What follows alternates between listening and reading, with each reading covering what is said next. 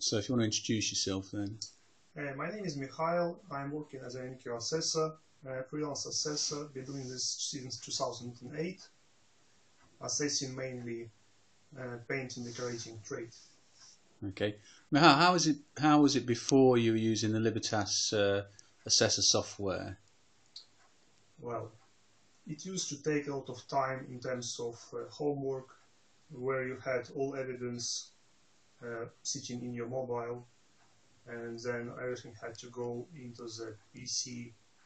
I had to shrink everything uh, manually, go through all photographs, videos, making sure I think about some uh, nice name so I know what each piece of evidence demonstrate to me.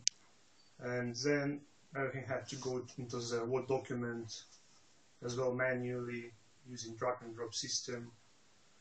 And uh, then was a painful process of uh, writing report, which could take between two and five hours when you had to uh, manually describe the stuff and type it up on the keyboard. It was quite a difficult and long-winded process, to be honest. Not enjoyable by the sounds of it. yeah, you're right. Okay, and uh, now you've now you're using the new software, the new Libertas software. How's it been now? Actually, the time was cut dramatically, and also I could uh, save a lot of time by using the time when I'm traveling on and off site between sites. Uh, whereas this time, let's say an hour while you're in a train, you can just uh, do everything you had to do late at home.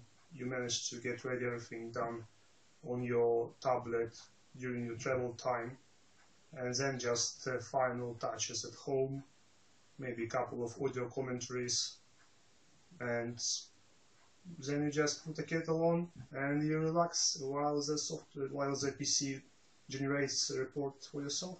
So would you say it's made a big difference, made the job easier, or?